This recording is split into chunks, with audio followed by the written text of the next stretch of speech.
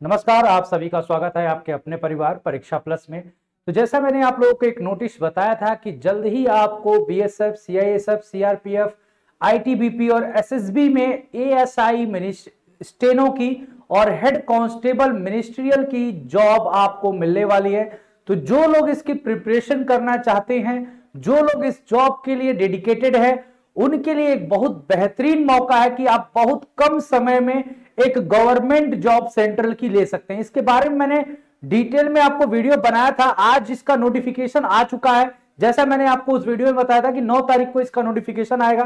क्या चेंजेस हैं? बस थोड़े मिनट जो है चेंज हुआ है। इसके एग्ज़ाम पैटर्न को मैंने उस वीडियो में बोला था कि एग्ज़ाम पैटर्न को लेकर चेंज होगा तो होगा, बाकी चीज़ें आपकी सेम रहेंगी। तो चलिए एक बार जल्दी जल्दी से नज़र देख लेते हैं कि क्या क्या चेंजेस हुए हैं। बात करें तो 9 तारीख मतलब आज से ही आपका फॉर्म फिलिंग स्टार्ट हो जाएगा और एक महीने मतलब आठ सात तक, जुलाई तक आपकी इसकी फॉर्म फिलिंग चलेंगी।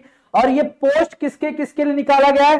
तो सब असिस्टेंट सब इंस्पेक्टर आपके स्टेनो के लिए है और साथ ही साथ हेड कांस्टेबल जो हवलदार क्लर्क बोल सकते हो, उसके लिए है आपका ये पद। और इसमें आपका सबसे पहले बताया कि मोड ऑफ़ सिलेक्शन क्या होगा। जो हाईलाइटेड पॉइंट है आपको दिख रहा होगा कि जो मोड ऑफ़ सिलेक्शन है, सबसे पहला इसमें है कि आपका फ़िज़िकल स्टैंडर्ड टेस्ट और फ़िज़िकल एफिशिएंसी टेस्ट होगा। स्टैंडर्ड टेस्ट मतलब हाइट चेस्ट आपकी नापी जाएगी। एफिशिएंसी में आपका दौड़ होगा, बाकी और कोई इतना बड़ा होने वाला नहीं है, क्योंकि ये क्लर्क लेवल की जॉब है। ठीक है? ऐसा नहीं, सिपाही वाली भर्ती है, आपकी क्लर्कियल जॉब है तो थोड़ा सा दौड़ मांगा गया है, बाकी आपकी हाइट और चेस्ट देखी जाएगी। तो ये होगा, उसके बाद जो लोग उसको पास करेंगे तो खासकर जो स्टेनो वाले जाएँगे स्टेनो में तीस गुना वैकेंसी के तीस गुना लोग जो है, वो बुलाए जाएँगे आपके कंप्यूटर बेस्ड टेस्ट में, और हवलदार वाले पोस्ट के लिए आपका अगर हम बात करें तो उसमें दस गुना आपके बुलाए जाएँगे सीबीटी के लिए। उसके बाद से आपका जो है डीवी होगा, फिर आपका मेडिकल होगा। तो ये आपके एग्ज़ाम आप अप्लाई कहाँ से करोगे? बीएसएफ के पोर्टल पे जाइएगा। वेबसाइट पर ये आपकी दिया गया है यहाँ पर जो यूआरएल है, यहाँ क्लिक करिएगा। Computer test will be conducted in both language जो स्किल टेस्ट स्टेनो होगा, वो इंग्लिश हिंदी दोनों में आप दे सकते हो, जिसमें आप कंफर्टेबल हो। टाइपिंग में आप दोनों लैंग्वेज में दे सकते हो, जो आपको देना होगा। अब ये वैकेंसी जो है ऑल इंडिया लेवल की वैकेंसी है। एडमिट कार्ड आपका वेबसाइट पर आएगा और जो आप मेल डालोगे फॉर्म में, उसके थ्रू भी आपका एडमिट कार्ड भेजा जाएगा। तो ईमेल ज़रूर अपना करेक्ट डालिएगा, जो चल रहा है उसी को डालिएगा। बाकी ये देखिए पे लेवल मैंने बताया था, पांचवा पे लेवल है, चार फोर्थ लेवल का है। इसका उन्तीस हज़ार दो सौ बेसिक बनेगा, इसका पच्चीस हज़ार पाँच सौ बनेगा। बाकी अलायंसेस मिलके आपको जैसा मैंने बताया था कि पैंतीस वैतीस के आसपास इसका पड़ेगा और तीस, बत्तीस के आसपास आपका ये पड़ जाएगा आपका सैलरी अब देखिए यहाँ पर बीएसएफ सीआरपीएफ आईटीबीपी और सीआईएसएफ एसएसबी में कुल मिलाकर अगर हम बात करें यहाँ पर तो कितने पद हैं एएसआई के? तो एएसआई के टोटल पद आपके दो हैं। दो से टोटल 1526 पद आए हैं। और हवलदार और क्लर्क वाला अगर हम बात करें, जो मिनिस्टीरियल वाला हेड कांस्टेबल मिनिस्टीरियल के टोटल बारह पद है, सबसे ज़्यादा इसी के हैं कांस्टेबल वाले में। और दो आपके इसके पद हैं एएसआई के, ये ध्यान रखिएगा तो अलग अलग में एक ही साथ रिक्रूटमेंट होगा इसका ऑल ओवर इंडिया लेवल पे होगा, जैसे आपकी होगी मार्किंग उसके हिसाब से आपको पोस्ट मिलेगा। ये आपको बोला दस परसेंट वैकेंसी जो है एक्स सर्विस मैन के लिए आपकी क्या है? ये मार्क की गई है, ये ध्यान रखिएगा। एलिजिबिलिटी क्या है? एलिजिबिलिटी में ये ध्यान रखिएगा कि 18 से 25 जो एज मैंने आपको बताया था 18 से 25 आपका एज होना चाहिए और एज का लास्ट कट ऑफ़ डेट जो है, वो 1 अगस्त 2024 है। मतलब 1 अगस्त को आपको 18 या 25 साल पूरा होना चाहिए 18 से 25 के बीच का होना चाहिए। रिलैक्सेशन आपको जो मिलता है सेंट्रल गवर्नमेंट के थ्रू एस सी को पाँच साल, ओबीसी को तीन साल, और जो एक्स सर्विसमैन है उनको तीन साल का मिलेगा। सेंट्रल गवर्नमेंट के कोई सर्वेंट है तो उनको तीन साल का मिलेगा। जो विडो या डाइवोर्स कोई वुमेन है, आपका तो उनको मैक्सिमम एज 35 साल है होगा। जो यू आर यूआरएल, ईडब्ल्यूएस और ओबीसी के होंगे, और 40 साल एस सी वाली जो महिलाएँ होंगी, जो विडो और डाइवर्स होंगी। ठीक है? बाकी आप किसी, जैसे कम्युनल राइट्स में आप आए हैं तो उस केस में आपको पाँच साल का एज रिलैक्सेशन है, उसके बाद से आपका गुजरात विक्टम है तो आठ साल का रिलैक्सेशन है तो ये ध्यान रखिएगा। अब आगे हम बात करते हैं यहाँ पर डीओबी जो आपकी होगी डेट ऑफ़ बर्थ वो आपके टेंथ के मार्कशीट के अकॉर्डिंग होना चाहिए, उसमें गलती नहीं होनी चाहिए। आपका नाम जो भरोगे फादर नेम सब कुछ जो भरोगे, वो आपके टेंथ के मार्कशीट के अकॉर्डिंग होनी चाहिए। ये ध्यान रखिएगा तो ये कुछ चीज़ें जो पॉइंट हाईलाइटेड मैंने किया है, वो ध्यान रखिएगा।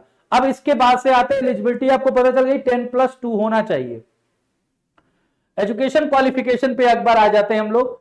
अगर मान लीजिए आपने अपना ओबीसी सर्टिफिकेट नहीं दिया, है ना? और उसके बाद से आपका जो मेरिट आपकी बनती है, और सपोज़ करिए आपने OBC certificate cut off date के बाद का दिया है, चाहे आपका बहुत पुराना हो गया है तो उस केस में आपको as a general candidate count किया जाएगा। ये ध्यान रखिएगा, अगर आप उस कट ऑफ़ पे आते हैं तो। ऐसा नहीं है कि आपका रिजेक्ट हो जाएगा फॉर्म ऐसा कोई नहीं है। कुछ बच्चे ऐसा पूछते रहते हैं कि रिजेक्ट होगा कि नहीं।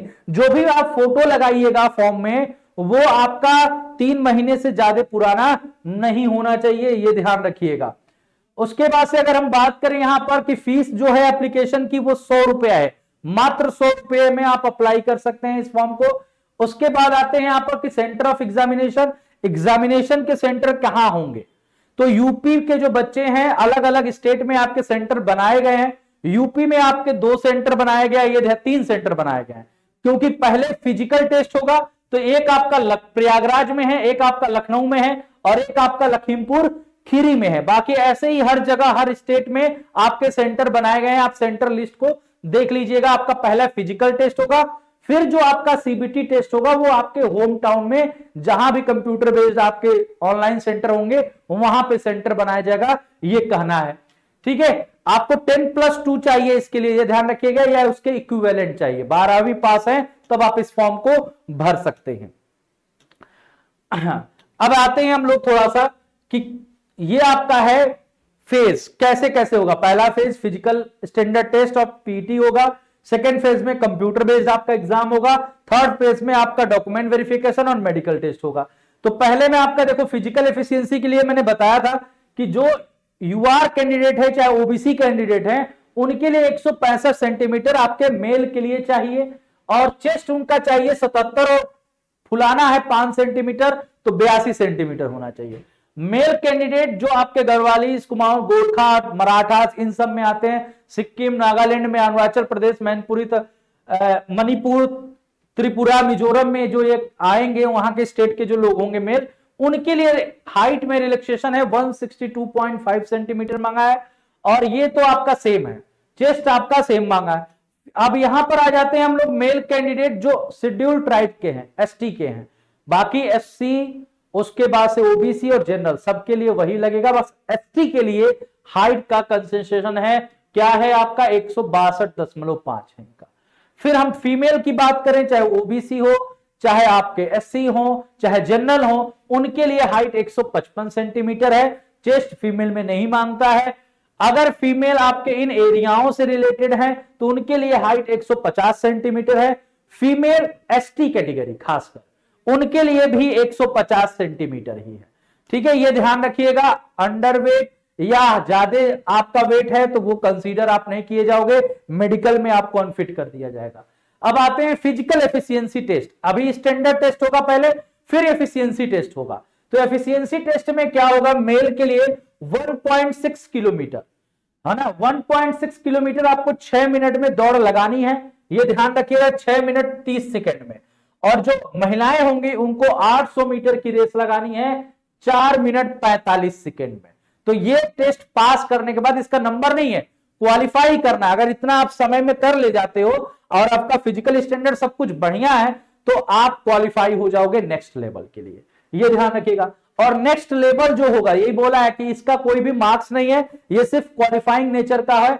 इसके बाद से आपका सेकेंड फ़ेज़ में आओगे सेकेंड फ़ेज़ आपका एक घंटा चालीस मिनट का, सौ क्वेश्चन होगा, सौ नंबर का होगा। ठीक है? तो ये आपका रिटेन टेस्ट होगा। इसमें आपका हिंदी और इंग्लिश लैंग्वेज का पेपर होगा। जिसमें से आप, जिसमें आप सुटेबल होंगे, आप हिंदी में पेपर चाहिए तो हिंदी लैंग्वेज ले सकते हो या इंग्लिश चाहिए तो इंग्लिश लैंग्वेज ले सकते हो। ऑप्शनल रहता है। जीएस का कोई भी क्वेश्चन यहाँ आपसे नहीं पूछा जाएगा। एक रिलैक्सेशन आपको यह भी मिला है।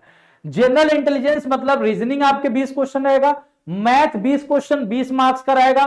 क्लर्कियर एप्टीट्यूड क्या होता है? एक नया चीज़ है। तो क्लर्कियर एप्टीट्यूड एक रीजनिंग टाइप का ही होता है आपका। ठीक है? उसी से रिलेटेड होता है। तो ये भी आपके 20 क्वेश्चन रहेंगे और कंप्यूटर नॉलेज के 20 प्रश्न रहेंगे।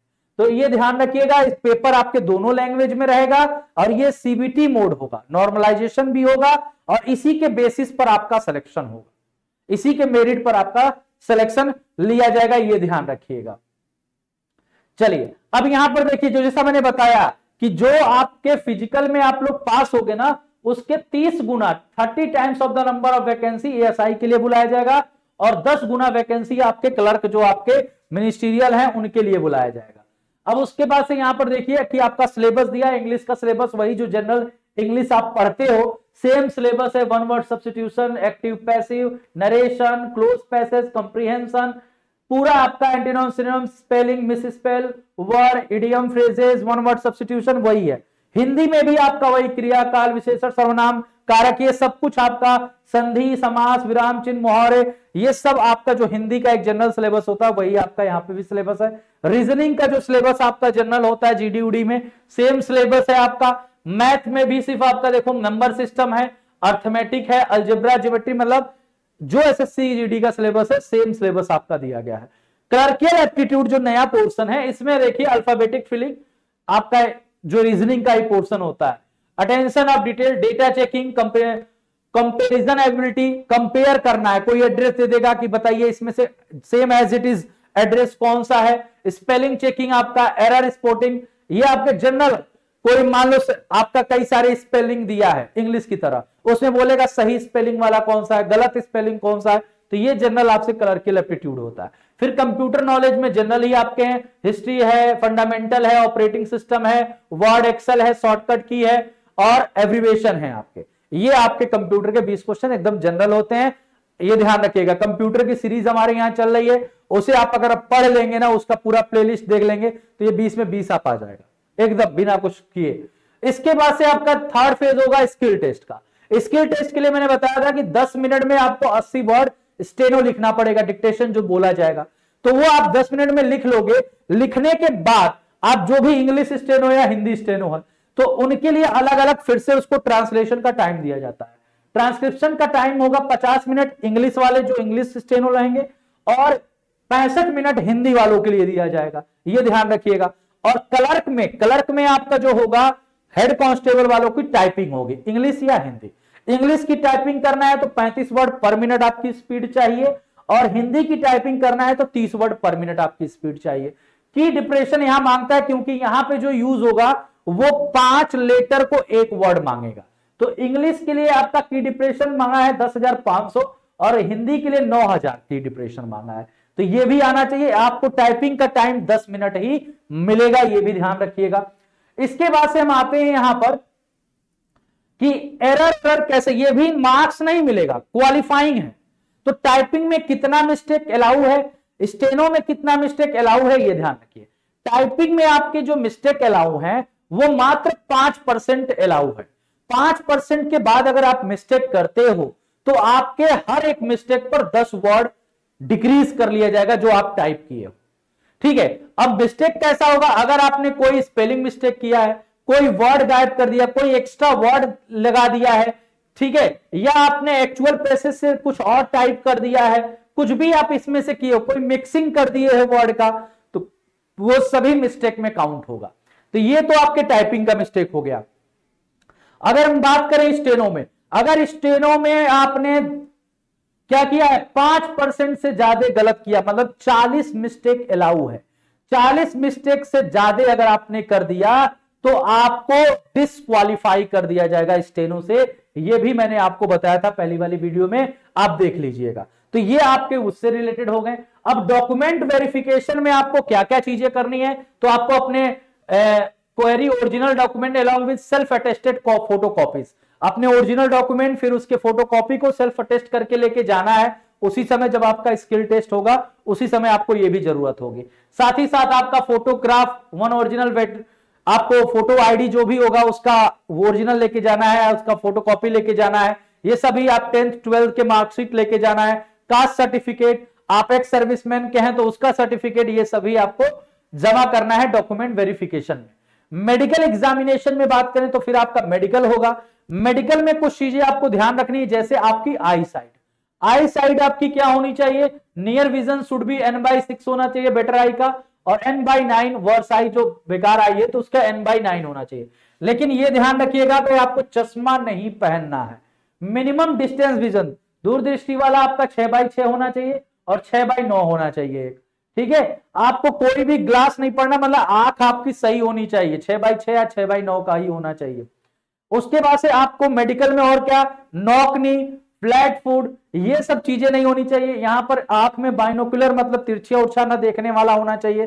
तो आँखें आपकी सही होनी चाहिए। आपको फ़िज़िकल मतलब जो एक आ, सिपाही भर्ती में आप देखते हो कि पैर का फ्लैट फ़ूड नहीं होना चाहिए कोनी सटना नहीं चाहिए वो सब चीज़ें नी नौक नौकनी नहीं होना चाहिए। ये सब चीज़ें अगर हैं तो दिक्कत हो जाएगी आपको मेडिकल में तो ये सब आपका सही होना चाहिए। और टैटू के बारे में मैंने बता दिया था ऐसा नहीं है कि टैटू रहेगा तो आपको हटा दिया जाएगा। टैटू बस आपके राइट हैंड साइड में नहीं होना चाहिए, जिससे आप सल्यूट करते हो। आपके लेफ़्ट हैंड में जो इनर पार्ट होगा, वहाँ हो तो सही है आउटर में नहीं होना चाहिए। और टैटू की साइज़ जो आप, जो भी मान लो आप यहाँ पे करा रहे हो तो इसके वन बाई फोर्थ ही आपको रखना है, ये भी आपको मैंने फ़र्स्ट वीडियो में बता दिया था। मोड ऑफ़ सिलेक्शन के बारे में आपको बता दिया कि पहले फ़िज़िकल होगा, फिर आपका सीबीटी होगा, और इसमें मिनिमम क्वालिफाइंग मार्क्स आपको चाहिए सीबीटी में। जो यू आर ईडब्ल्यू और ओबीसी के हैं, उनको 45 परसेंट और एस सी एस टी के हैं, उनको 40 परसेंट। जो ईडब्ल्यू एस वाले हैं, वो ध्यान रखिएगा कि आपका ईडब्ल्यू एस सर्टिफिकेट इसी साल के फाइनेंशियल ईयर का होना चाहिए। ओबीसी सर्टिफिकेट भी आपका सेंट्रल का होना चाहिए। अगर आप सेंट्रल के लिस्ट में आते हैं, आपका उसी फॉर्मेट में है, तभी आपका मान्य होगा। एस सी वाले आपका चलेगा, जो भी सेंट्रल का उनका बनता है, ये ध्यान रखिएगा। तो यहाँ नीचे आप जब जाओगे नोटिफिकेशन आपको टेलीग्राम ग्रुप पे डाल दिया जाएगा। आप वहाँ से इस पूरे नोटिफिकेशन को देख सकते हो। इसमें डिटेल में आपको नीचे आपको सब कुछ दिया गया है कि आपको फॉर्म कैसे भरना है। सबसे पहले आप वन टाइम रजिस्ट्रेशन करोगे ओटीआर करोगे, फिर आपका ऑनलाइन एप्लीकेशन आएगा एप्लीकेशन फिल करोगे पेमेंट करोगे, सब कुछ हो जाएगा आपका आसानी से। जो आपका फ़ोटो का साइज़ होना चाहिए 30 से 100 के बी के बीच का होना चाहिए सिग्नेचर 20 से 50 के बी होना चाहिए, और कोई भी जो डॉक्यूमेंट अपलोड कर रहे हो, वो आपका 30 से 100 के बी का और थम इंप्रेशन भी इसमें चाहिए। जो आपका 50 के बी से ज़्यादा नहीं होना चाहिए तो ये सब कुछ आप सही करा के तब आप आराम से फॉर्म फिल करिएगा। अब बात करते हैं कि हमें क्या क्या ले जाना है तो उसका एनेक्शर दिया है। कास्ट सर्टिफिकेट आपका इस एनेक्शर पे बना होना चाहिए। ये ध्यान रखिएगा एस सी का। अगर आपका है तो कोई दिक्कत नहीं है। ओबीसी का भी ऐसे दिया गया होगा आपका।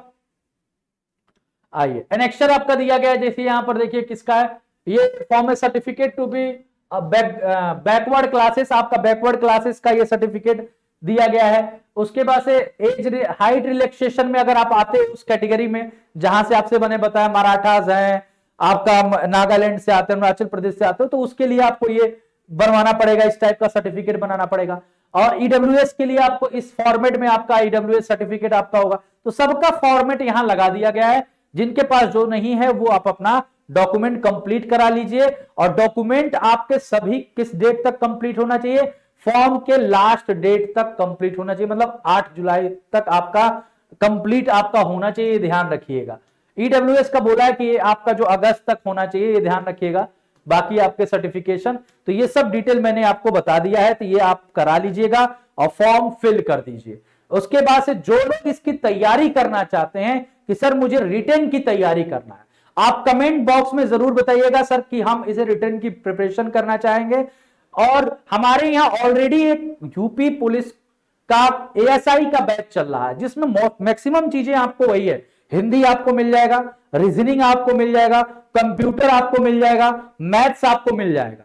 साथ ही साथ आपका जो एक एक्स्ट्रा पोर्शन बच रहा है, वो है कलरकियल एप्टीट्यूड वो करा दिया जाएगा एक्स्ट्रा आपको दे दिया जाएगा उसी में। तो जिनको भी जुड़ना है अभी के लिए, अगर जुड़ना चाहते हैं तो वो उस बैच से जुड़ सकते हैं, जो हमारा ऑलरेडी एक एएसआई का बैच चल रहा है। बाकी जितने लोग भी इच्छुक हैं इसके रिटर्न एग्ज़ाम के लिए तैयारी करना चाहते हैं, वो कमेंट में भी बता सकते हैं। बाकी जो आपको और समस्या हो रही है इस फॉर्म को भरने में तो आप कमेंट में बताइएगा, हम पूरी कोशिश करेंगे कि आपके समस्याओं का समाधान किया जाए। तो चलिए इसी के साथ मैं आप सभी से विदा लेता हूँ। मस्त रहिए, स्वस्थ रहिए, वीडियो को लाइक और शेयर ज़रूर करते रहिए।